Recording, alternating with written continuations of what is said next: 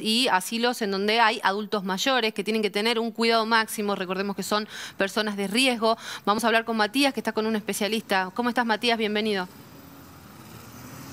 ¿Qué tal, Caro? Buen día. Exacto, estamos con el doctor geriatra Marcelo Monteros, que es el encargado del Ministerio de Desarrollo Social en el COE, el representante, es especialista justamente eh, en temas de geriátricos y además tiene un geriátrico Así que justamente vamos a hablar sobre cuáles son los protocolos que se vienen aplicando para que el virus no ingrese y en caso de que suceda, como lamentablemente está pasando, qué es lo que sucede después de eso. ¿Qué tal? ¿Cómo le va, doctor? Buen día. Bueno, buen día. Muchas gracias que me permita que aclare algunas cosas que son importantes. La primera, eh, las medidas, más que protocolos, que fueron trabajadas junto con el CIPROSA, que son medidas nacionales, que el CIPROSA la bajó a todas las residencias para adultos mayores, tanto hay que aclarar que hay residencias privadas, hay residencias públicas y hay residencias de beneficencia. Las tres son las mismas, con mayor o menor medida. El CIPROS está trabajando junto con las tres residencias, pasó las normas para evitar, que se llaman normas de aislamiento de las instituciones, que están muy claras y todas las instituciones las cumplieron. Eh, le consisten dos o tres, para resumirlas son muchas, pero consiste en evitar que entre la gente que no trabaja, en que los empleados tengan la protección correspondiente y lo que no se puede en una residencia para adultos mayores es mantener el distanciamiento social, porque el empleado tiene que tocarlo al, residente, porque el residente es dependiente, hay que darle de comer, hay que higienizarlo, hay que acostarlo, o sea, el distanciamiento social es casi imposible, pero se ha implementado otra serie de medidas para evitar que entre este virus desgraciado a alguna residencia para adultos mayores donde están toda la gente que es muy propensa a enfermarse, ¿no? A contagiarse, a enfermarse por esto. Doctor, o sea que es inevitable que el virus ingrese cuando ya hay circulación comunitaria a este tipo de, hogares? A cualquier lugar que sea cerrado, no tan solo los hogares, eh, son, se llaman residencias para adultos mayores. Eso hay que aclarar bien. Una residencia es un lugar, que son, todas son las mismas, depende de quién la, quién la financie. Es un lugar donde los adultos mayores que no pueden ser tenidos en su casa por distintos motivos y requieren una atención permanente están ahí y que tienen enfermedad. Se ha hecho todo para que no entre. Cuando el virus es comunitario, este virus tiene tres características que lo hacen muy difícil de evitar. Y no voy a hablar como médico, no como no soy infectólogo, no me quiero meter en el terreno de ello, pero es un virus desconocido, un virus con un largo periodo de incubación, o sea que lo tenés y un virus que dura mucho y un virus que no da síntomas en casi el 95 al 98% de la gente. Entonces la gente que lo tiene no sabe. Con la gripe es diferente, la gente que lo tiene sabe.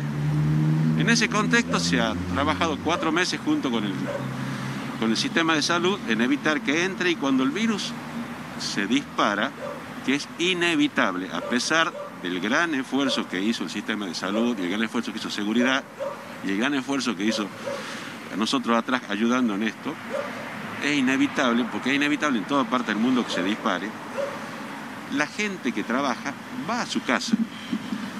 Todos tienen casa y en algún momento a esa gente que no lo siente y no lo hace de mala intención, porque no hay que eh, ponerle un sello, no sabe que lo tiene y lo puede llevar a una residencia. Entonces, esas normas para que no entre, cuando entra se pasa un protocolo de acción y ese protocolo de acción que estamos trabajando junto con el sistema de salud, tanto los geriátricos públicos, privados y todo estamos trabajando, no es uno solo, porque depende de muchas cosas. Depende la característica de la residencia, si la residencia va a tener un lugar de aislamiento, depende si la residencia no tiene lugar de aislamiento, depende la cantidad de residentes y la cantidad de empleados.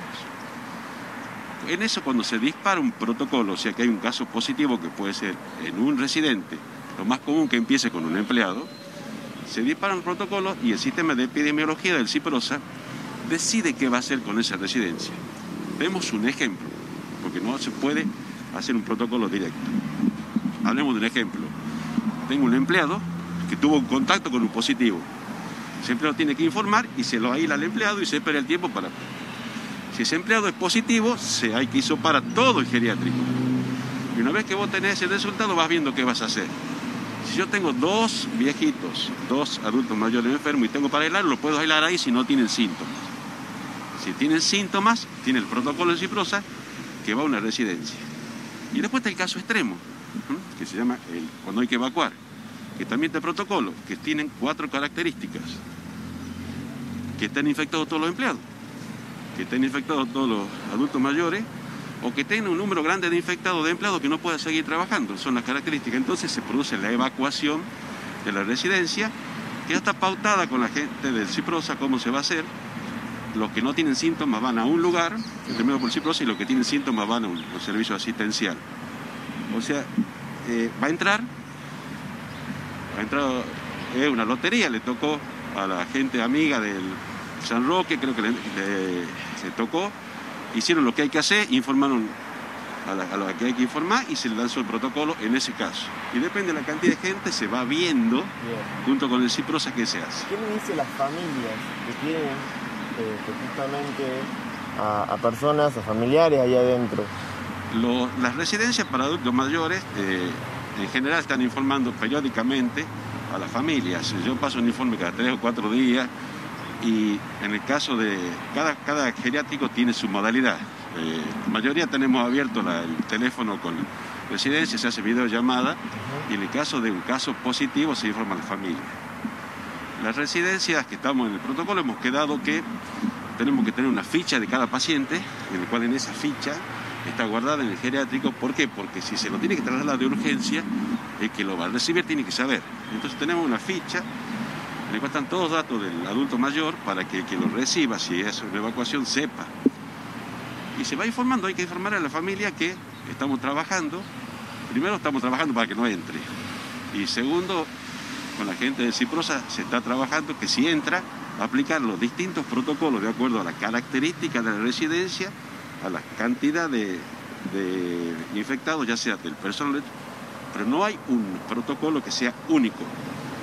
El protocolo son varios, depende de cada situación. Y eso lo decide la epidemiología de Ciprosa que está trabajando con nosotros para ver cómo se hace. Muy bien, muchas gracias doctor. No, por nada.